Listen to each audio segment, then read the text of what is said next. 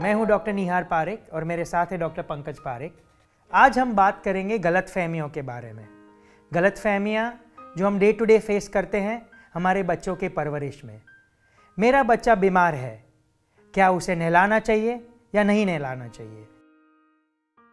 नहलाना बहुत ज़रूरी है और ख़ास करके जब ये बच्चे बीमार होते हैं, तभी नहलाना बहुत ज़रूरी है। इसलिए कि नहलाने से बच्चे साफ़ सुथरे होते हैं। फ्रेश भी हो जाते हैं। छोटा मोटा बुखार ये नहलाने से अपने आप चला जाता है।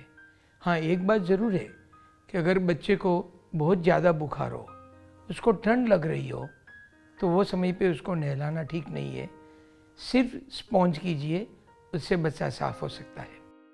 तो ये क्वेश्चन है बीमारी के टाइम पे एक स्वच्छता, एक हाइजीन मेंटेन रखने की, ताकि वो और बीमार ना पड़े और बीमारी जल्दी से गायब हो जाए। दूसरी बात, हमें कई बार माँ आके पूछती है कि 103 बुखार था, हमने दवाई दी लेकिन बुखार उतरा नहीं। तो फिर हमने इधर एक सर पे काली छोटी गीली पट्टी रख दी। तो बुखार क्यों नहीं उतरा? ये पट्टी का कंसेप्ट जो रहता है, क्या ये सही है? क्या ये एक्चुअली काम करता है? जब भी बच्चे को बुखार हो, और ख़ास करके बहुत ज़्यादा बुखार हो तो दवाई के उपरांत ये जो हम स्पंजिंग करते हैं, उससे बड़ा फ़ायदा होता है। ये स्पंजिंग हमेशा सादे पानी, नल के पानी से करना चाहिए, ठंडा पानी या आइस वाटर नहीं लेना चाहिए।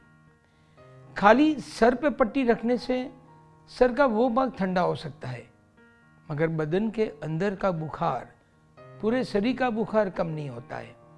पूरे शरीर के बुखार के कम करने के लिए पूरे शरीर को स्पॉन्ज करना चाहिए। आगे से, पीछे से, सर से लेके पाँव तक।